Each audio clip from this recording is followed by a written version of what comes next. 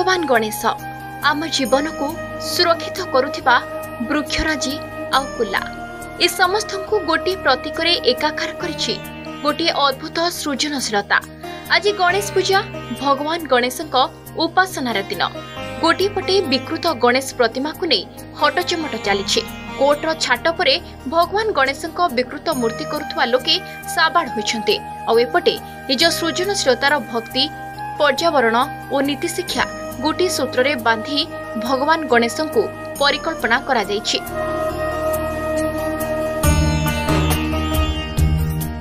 ଦୃଶ୍ୟ ରାଜଧାନୀ Bhubaneswar forest park ଭିତରେ ବକୁଳ ଫାଉଣ୍ଡେସନ ଏଭଳି କିଛି ଢଙ୍ଗରେ ବିଘ୍ନ ବିନାଶକଙ୍କୁ ପୂଜା କରାଯାଇଛି।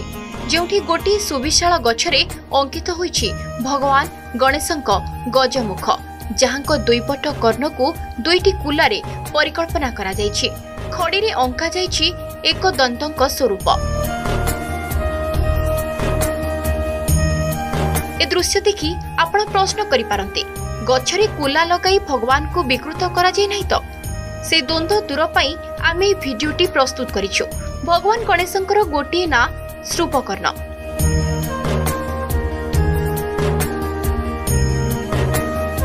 ଶ୍ରୁପ ଅର୍ଥାତ୍ କୁଲା ଯାହାଙ୍କ କାନ କୁଲା ଭଳି ତାଙ୍କୁ ଶ୍ରୁପକର୍ଣ୍ଣ କୁହାଯାଏ। ବାସ୍ତବରେ କୁଲାର ଧର୍ମ ହେଉଛି ଭଲ ପାଛୁଡ଼ି ରଖିବା ଆଉ ବର୍ଜ୍ୟକୁ ଉଡ଼ାଇ ଦେବା। ଭଗବାନ ଗଣେଶ ମଧ୍ୟ ନିଜକୁ ଶ୍ରୁପକର୍ଣ୍ଣ କରି ସେହିଭଳି କିଛି ନୀତିଶିକ୍ଷା ପ୍ରଦାନ କରନ୍ତି। ଜୀବନରୁ ସମସ୍ତ ଖରାପ କଥାକୁ ଉଡ଼ାଇ ଦେଇ କେବଳ ଭଲ ଶୁଣିବା ବୃକ୍ଷରେ ନିଜକୁ ଅଙ୍କିତ କରି ପରିବେଶ ଓ ପର୍ଯ୍ୟାବରଣକୁ ସୁରକ୍ଷିତ ରଖିବାକୁ ସେ ଶିକ୍ଷା ଦେଇଛନ୍ତି। ବକୁଳ ଫାଉଣ୍ଡେସନ ତରଫରୁ ଆମେ ପ୍ରଥମରୁ ଆମର ସବୁବେଳେ ଚେଷ୍ଟା ରହିଛି କେମିତି ଗଛ ସହିତ ଆମର ଗୋଟେ ଗୋଟେ ପାରମ୍ପରିକ ଗୋଟେ ଆମର ଅ, ସେମିତି ଗୋଟେ ଜଡ଼ିତ ହେଇକି ଆମେ କେମିତି ରହିବୁ ଯେଉଁଟା ଆଗରୁ ଥିଲା। ଆଗରୁ ଆମେ ଗଛକୁ ହିଁ ପୂଜା କରୁଥିଲୁ। ଗଛ ତଳେ ଅ, ତାପରେ ମୂର୍ତ୍ତି ରଖିବା ଆରମ୍ଭ କଲୁ।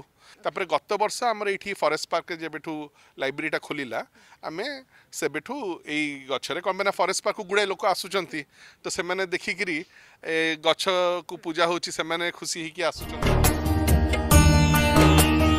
ପୂର୍ବବର୍ଷ ବକୁଳବନ ଫାଉଣ୍ଡେସନ ଏଭଳି ଏକ ଇକୋ ଫ୍ରେଣ୍ଡଲି ଥିମ୍ ନେଇ ଲୋକଙ୍କୁ ପୂଜା ସହିତ ସଚେତନ ମଧ୍ୟ କରାଇଥିଲା। ଈଶ୍ୱରଙ୍କ ଅନନ୍ୟ ସୃଷ୍ଟି ହେଉଛି ବୃକ୍ଷ। ତେଣୁ ତାଙ୍କୁ କେବେ ଭଗବାନଙ୍କଠୁ ଅଲଗା କରାଯାଇ ପାରେ ନାହିଁ ବୋଲି କହିଛନ୍ତି founder Sujit Mohapatra. Bureau report Argus news.